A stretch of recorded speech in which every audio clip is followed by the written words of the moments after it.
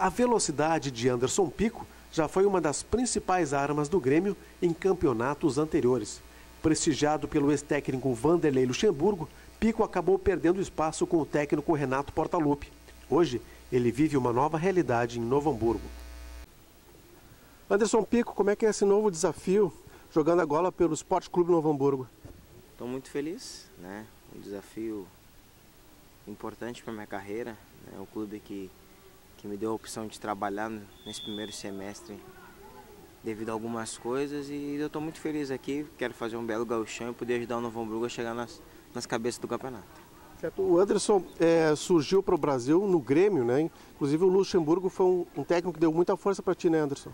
Foi. Foi uma pessoa muito especial, que eu sempre falo, né, que me ajudou no passado na minha carreira.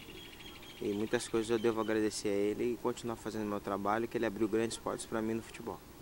Anderson, houve a informação que tu tinhas problemas com peso. É fato ou não isso?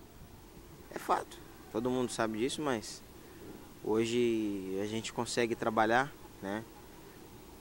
Com professores adequados aqui, com como eu pedi para a direção.